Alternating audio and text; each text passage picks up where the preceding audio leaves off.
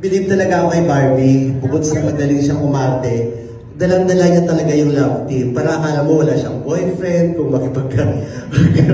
kung pa dalang-dala niya si David dun sa love team nila. Siya talaga yung nagdadala ng love team din na yon.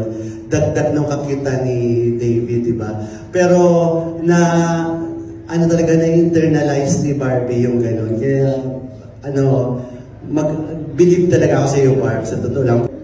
And um, ko rin, I also would like to share the credit um, of the success of Barda kay David kasi um, siya po naman talaga ang umpisang nag, nag, nagsimula ng Twitter serye sa Maria Clara at Ibarra. Siya naman po talaga ang nag-initiate ng Twitter serye na yun. Nakiride lang ako. Tapos nagustuhan ng mga fans.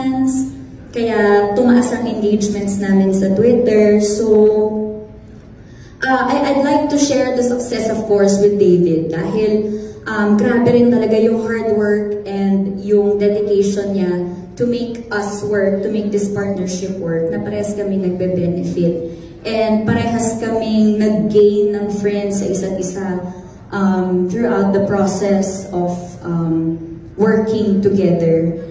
And sa industriyang ito, um, masasabi ko na napakalaking bagay kung makahanap ka ng kaibigan sa isang katrabaho matagal mong makakasama. Kasi um, it's kind of a cruel world.